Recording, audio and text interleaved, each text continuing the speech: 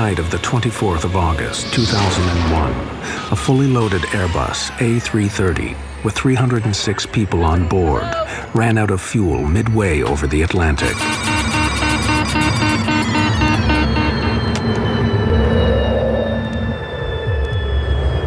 How could a state-of-the-art, computerized airliner suffer such a catastrophic failure? Mayday, mayday, mayday. We have lost both engines due to fuel starvation. We are gliding now. Well, we're now at 30,000 feet at the rate of descent of 2,000 feet per minute. May have to ditch in the water. I need you to put on your life jackets right now. This film investigates what happened to Air Transat Flight 236. This is it. This is it's over. You're just gonna die in the next five to ten minutes. And the speed's increasing, 203 knots now. It's way too fast. Everybody, I need you to brace. Oh my god!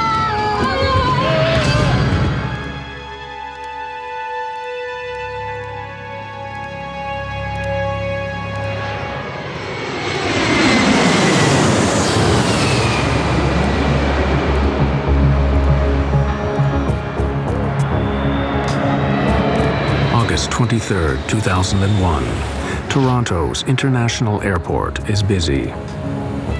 Air Transat is a charter company that has grown rapidly to become one of the largest airlines in Canada. Midsummer brings fewer business travelers and a holiday atmosphere. Air Transat Flight 236 is bound for Lisbon. Most of the passengers are Canadians visiting Europe or Portuguese immigrants heading home.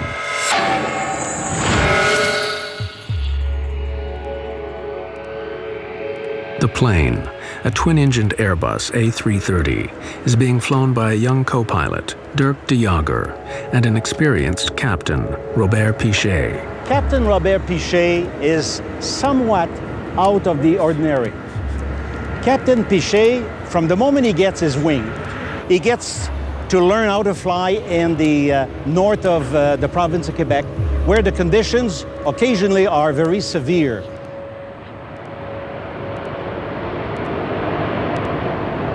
The flight deck of the A330 is ultra-modern. Banks of computers connected to over 100 onboard sensors constantly monitor the operation of the plane. This film reveals how serious problems can arise when the pilots get unusual readings from the computers and begin to distrust them. On this night, the computers assist the smooth takeoff of Flight 236. 236 Heavy, follow A320 Air Canada. Turn left on Romeo and hold short on 2-4 right. Roger, follow A320 Air Canada, left on Romeo, and hold short of 24 right. With the crew of 13, Flight 236 has 306 people on board.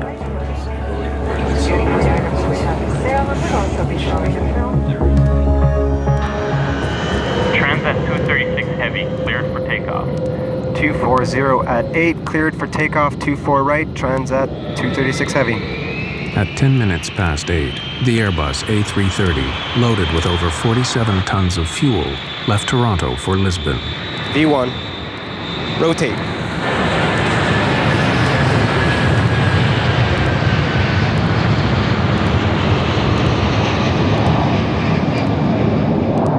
The weather forecast for the Atlantic crossing is good. Everything runs smoothly on the flight deck, apart from a small adjustment to the route. To avoid congestion, air traffic control directs the flight 60 miles south of its original route. It's a minor alteration, but will play a crucial role later. Passengers settle down for the long crossing.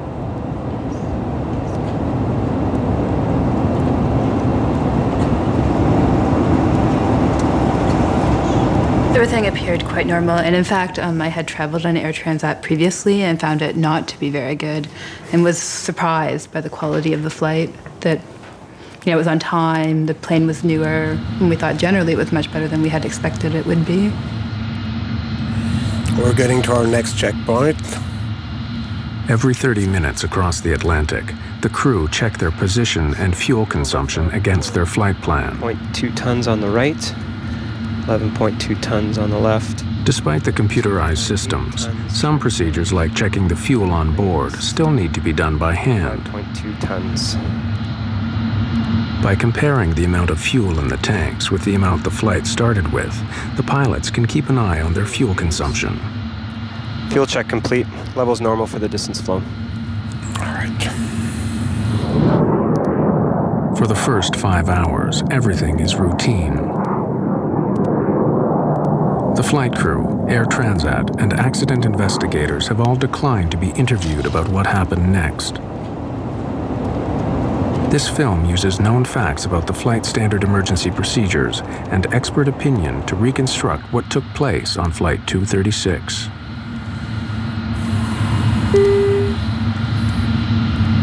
Look, we're getting a warning signal. Oil temp low and oil pressure high on number two. This warning is the first step in the crisis. Oil pressure is within normal limits on number one. Number two is slightly high. The computer display reveals that the oil temperature is low in engine number two, but the oil pressure is high. It is a very unusual reading. The pilots are puzzled. I can't see anything here. I'll look in the FCOM. Okay. A low oil temperature indication is normally in, indicative of, of bad readings, bad sensor. Uh, oil temperatures don't decrease normally, they increase. A low oil temperature would, would be of no concern. The high oil pressure is, uh, is a very strange indication. Uh, it's, it's very rare. In fact, I've never actually heard of one. It's only indicative of the contamination normally of the oil with fuel. Uh, that's not something that's explained in the manuals. Call the company. The crew contact Air Transat's maintenance group in Montreal. Transat 236 to Mirabel Operations. Mirabel Transat 236. Hi. Hi, we have a little problem. We're getting the warning oil temp low and oil pressure high on the ECAM for engine number two. There's nothing in the QRH nor the FCOM. Can you help us out? I'm looking in the manual. The ground crew have no immediate solution. The pilots must work it out themselves. They may have been given some advice uh, on, on troubleshooting uh, to see um, if that would help. But ultimately, uh, you know, the pilots are up there on their own. Uh, you know, they can get advice from somebody 2,500 miles away, but they can't really fix their problems. Suggest you keep monitoring your oil levels and see what happens. Advise us on But because the oil readings are so unusual, the pilots believe they may indicate a computer error. The crew keep monitoring the oil levels. Air Transat 236 continues on track.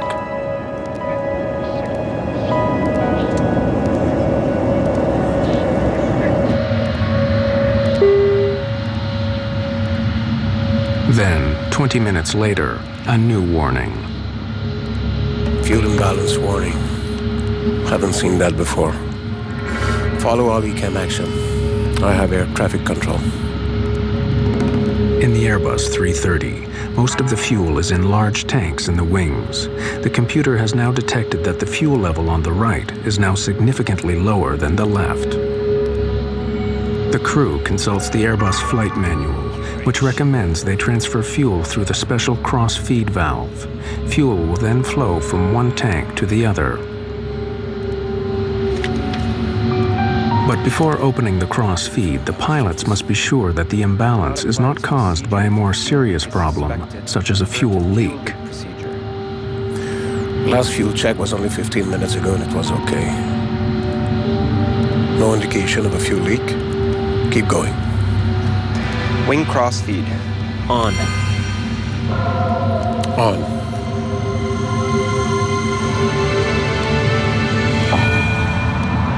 Once you begin a cross-feeding procedure to correct a fuel imbalance, uh, restorative action should commence quite quickly. Uh, in other words, the situation would not continue to, uh, to get worse. It would, it would either stabilize immediately and then begin to, to correct itself. But the situation is not correcting itself. Unknown to the pilots, there is a major fuel leak in the number two engine on the right hand side of the plane.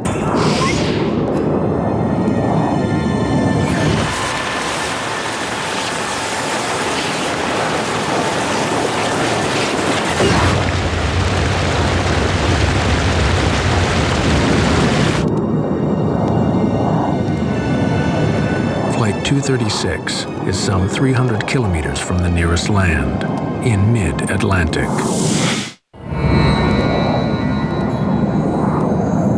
Thirty-nine thousand feet over the Atlantic, some 300 kilometers from land, Air Transat Flight 236 is in trouble. Unknown to the pilots, the right engine is leaking fuel. The plane's computer system has thrown up a series of warnings, but the pilots believe these are computer errors. Have you ever seen something like this before? Nope. Never. Doesn't make any sense. Yeah, even if there is a leak, it doesn't explain the alarms on the oil system. And everything was okay at the last fuel check at 30 West. Yeah. Bet you it's a computer problem. The task of finding out if there is a fuel leak is made harder by the design of the Airbus systems. The systems monitor hundreds and hundreds of sensors, and uh, you know they can be affected by uh, you know such mundane things as a little bit of uh, frost or ice on a sensor can can uh, can cause it to pre- present bad data. There is no direct warning to show if the fuel level is falling faster than the engines are consuming it. do another fuel So the pilots receive no immediate indication that there could be a fuel leak. Fuel quantity isn't rising in the tanks for the right wing. Check fuel quantity. Looks very low. Hold on. When co-pilot de Jager carries out the fuel calculations, he discovers something is seriously wrong. It's much less fuel than we should have. It looks like a fuel leak. Check again. De Jager finds a disturbing difference. According to all the gauges, all the tanks in the right wing are way below the level they should be according to the flight plan, and, and there's hardly anything in the other ones. What about the trim tank? There's nothing there either.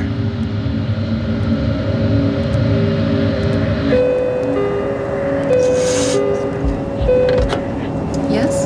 Hello, first officer here. Can you come to the cockpit, please? Sure. Although Captain Piché still believes he is dealing with a computer problem, he nevertheless decides to ask for a visual check just in case to see if there could be a fuel leak. Captain? Hi. Can you and Karen uh, take some flashlights and go to the windows if you can see anything trailing back from the wings? It'll look like a mist or a stream and report back immediately. Okay. Dirk, I want you to do another complete fuel check, please.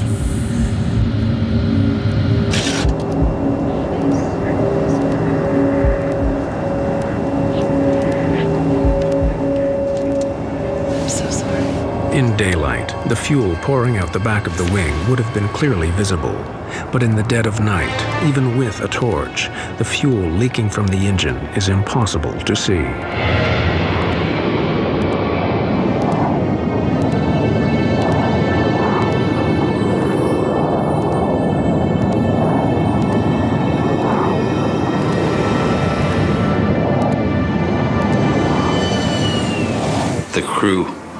Evidently realized that the situation was not improving, and uh, at that point they realized that there's that their circumstances were becoming more serious, and uh, I think that there were probably some discussions took place between the two pilots as to what their next course of action should be.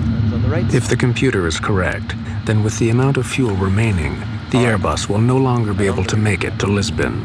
Captain Piché is forced to dive.